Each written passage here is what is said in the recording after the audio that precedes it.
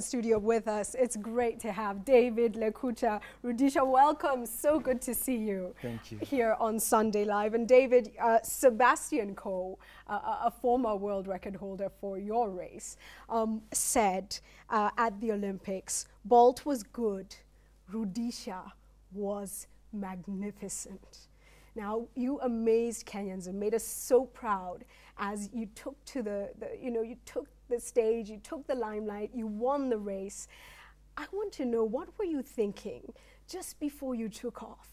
And again, the last 100 meters, that final lap, what was going on in your head, David? Well, um, you know, in Olympic uh, is one of the biggest sports in the world.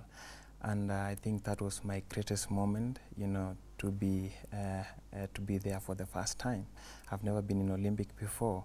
And to go there at uh, that level of uh, fitness, already I was the, the reigning champion and the world record holder.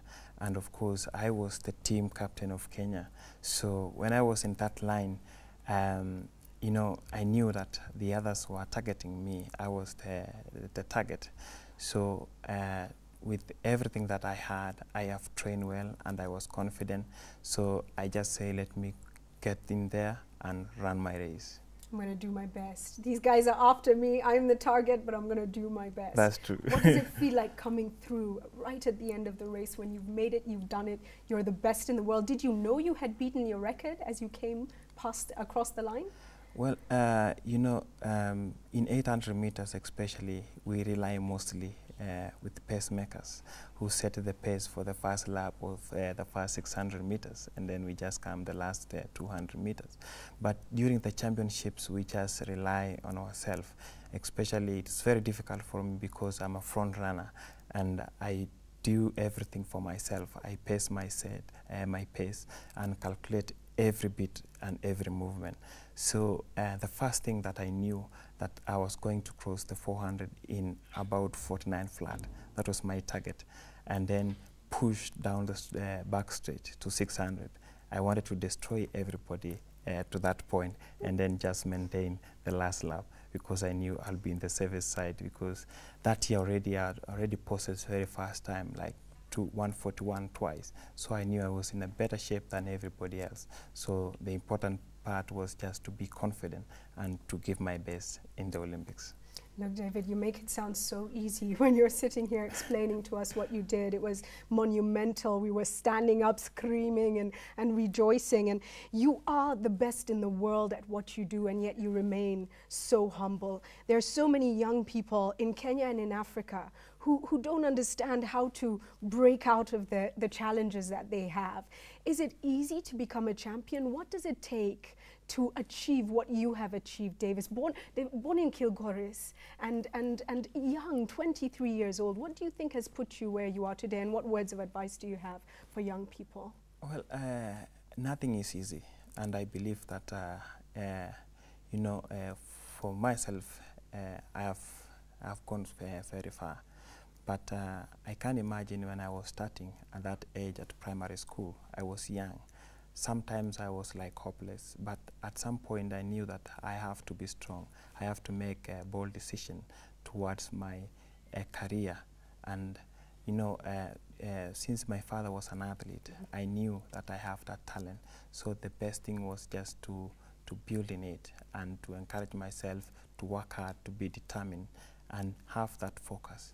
And I think that really helped me because uh, I've gone through up and downs, injuries, disappointments. You know, in Berlin 2009, uh, I missed the final. Uh, go back to 2008, I was still in high school, thinking of uh, you know making the team to go to uh, uh, Olympics in Beijing. I missed the team because of injury. So it's through determination and focus and be patient and always have something to target.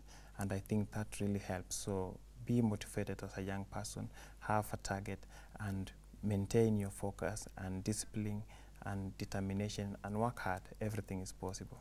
Be focused, maintain that focus, discipline, determination as well. And of course, you're a family man. That's very important. Your family's here with you today. It's amazing to see that, especially since you're quite young. Also, you've spoken about your father. And if you didn't know, David's father actually won Kenya a silver medal in 1968 at the Olympics. He was in a relay, 400 meters relay team. So it, it runs in the family, really. Um, but you are now a second generation of Kenyans who have given to this country.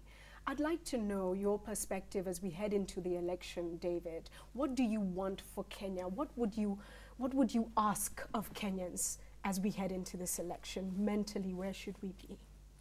Well, um, you know, uh, Kenya actually in the uh, past and the last uh, election we had a very bad experience.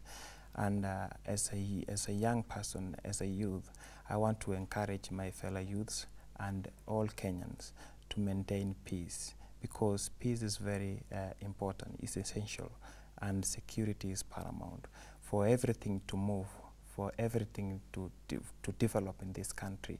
For Kenya to achieve its objective, we need peace because without peace, nothing will move.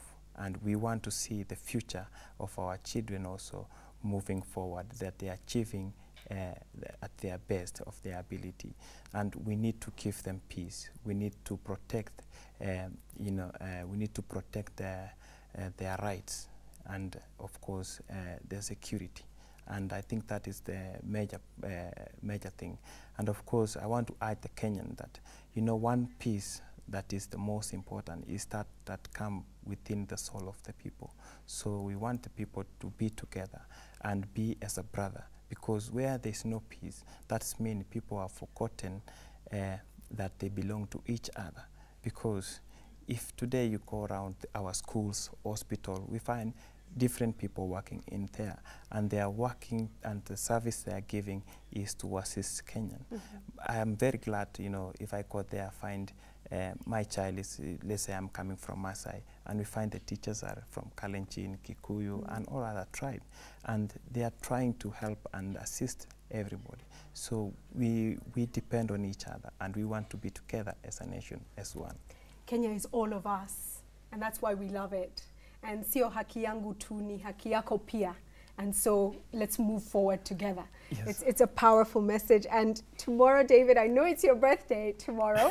tomorrow is David Rudisha's birthday. You turn 24. Um, what do you give a, a millionaire and a world record holder on his birthday? Perhaps the greatest gift that we can give you, David, as Kenyans is to commit to peace, love, and unity. That's true give us a final message. Please, you can actually, uh, you know, look at the camera and tell Kenyans what your final message to them is. That one over there, please. Um, uh, my final message is that uh, we want Kenya to, uh, you know, first of all, to register mm -hmm. for those who have not registered so that they can uh, be part and participate in the next coming election to select the, our leaders and of course to maintain peace so that we all uh, have to achieve our goal because we also depend on uh, everyone and the peace in the country because we can't have conducive environment, we can't train without peace. So we want peace everywhere so that we can live a healthy life and uh, free and uh, you know everybody feels secure, secure in wherever he is.